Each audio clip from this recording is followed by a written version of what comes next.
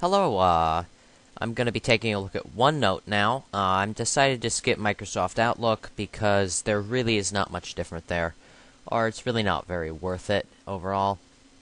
OneNote is a an interesting application. It's like it almost seems pointless to me, but it's like the ultimate note keeper. Uh, so you can spend so much time doing your notes that you have no time for nothing for anything else. But um, the point is, you can type anywhere on the page. It's like a scrapbook creator almost. Like say, it says here, uh, how our OneNote page is different. So you can type anywhere. See, I can place my cursor anywhere I click. Uh, like I could type my name here. I could type anything I want. Um, it doesn't have to be my name. Uh, you can draw lines. These are basically lines that somebody drew to create a um, an image. So, to create a new item in OneNote, you create a new selection, and I basically start typing my scraps. So this new selection we're going to rename I could rename it whatever I want, but I'm going to name it computer. It was a random choice. Uh, so this tells you the date and the time you're entering. Um, you can record a video, record an audio, um, do an equation, a symbol, screen clipping, which is screen capture.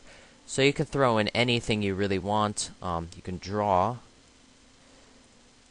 So if you want to make a point, you can draw to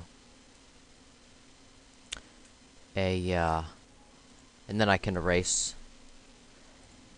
So let's say I draw a line here. So it's an arrow from from text here. You can move your text anywhere you want very easily to um, some text right here. So you can basically lay out your notes, lay out your thoughts, uh, create your um, ideas of what you're going to do and what you have to do, and any inspirations you have. You can draw out maps, put whatever you want. And if you want to have fun and just you know keep track of yourself that way, that's that's perfectly fine. Um, gonna insert a cl screen clipping, so Hang on. It kind of crashed. We're going to take a screen clipping of ATI. So this is my screen clipping here. I'm going to say that uh, I'm going to type in uh, I like ATI Catalyst Control Center you know, you could do something silly like that, and then when I say that, I can just take my um, my draw. I can pick a line, a big pink line, and I can go from here to here, and then I can just take a little uh, a blue line, and I can make an arrow thing. So you can do whatever you want. Uh, be creative with it, and you can have as many pages to per subject to keep track of yourself, and do whatever you want and in that way you can organize and you can add any shapes you want to so you can basically create a messy page to tell yourself what you need to do. And planning ahead uh, I think that's if you put a shape in the wrong place. Um, Looks like you can scroll with it. Uh, lasso select.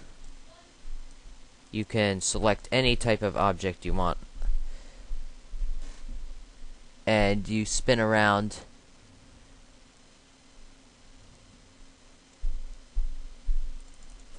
It's not working for me though.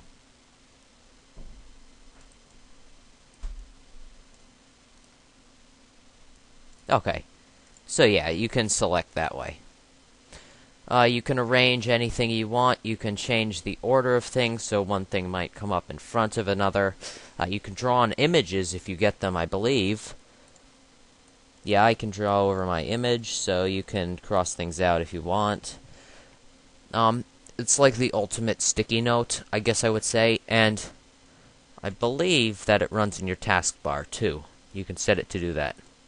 Uh, you can link notes to other things. Um, so you can recycle things, and you can look in your notebook recyclable bin.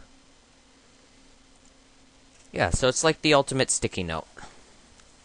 I'm not big on this kind of thing, so I'm not I'm not the best at reviewing it or looking at it, as you can see from the page I've got here. But if you like to be organized and do that kind of thing, this is great. Alright, thanks for watching everybody.